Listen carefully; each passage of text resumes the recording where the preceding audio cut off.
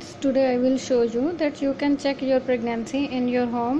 It's very cheap to check in home. This card easily available in every pharmacy store. And more important thing we are checking beta hcg hormone in the urine. If you are pregnant it will come positive and it will come in control line and T line. Two lines will appear. If it is negative it the one line will appear only in control and it's better to check pregnancy in morning urine. Now i will take two samples to show you about negative and positive. I will add 3 drops in each card.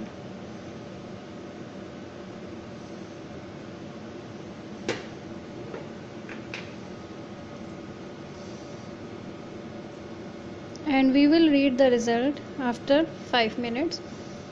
According to each kit there is 5 to 10 minutes to read the result so don't read result after 10 minutes. If you feel any weak shade after 10 minutes just repeat your test after 10 days and take care. Don't take any medicine without doctor prescription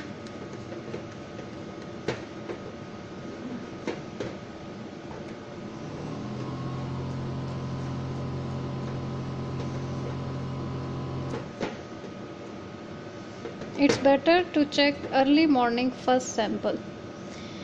Now we can see this sample is positive so it's early came two lines. One is came in front of test and one is came in front of control. This is beta hcg card. And this is negative so only one line came in front of control and if you will see after adding urine no line appear either not in front of T and not in front of control. It means that card is invalid.